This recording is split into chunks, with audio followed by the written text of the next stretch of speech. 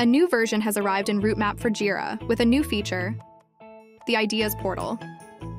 We believe that the best ideas come from users.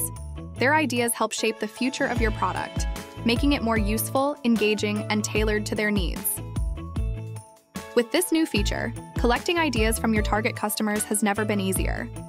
Simply navigate to the Ideas Portal section, and you'll find a dedicated space where you can submit your thoughts, vote on other users' suggestions, and see which ideas are gaining attention. To collect more ideas from external users, you can click the Publish button, turn the public option on, and hit Save. Now, you can copy this public portal URL and freely share it anywhere. Then, you can manage and keep track of the whole process. From the ideation stage, moving down to planned and developed in as an issue, and finally to become a released working feature on production.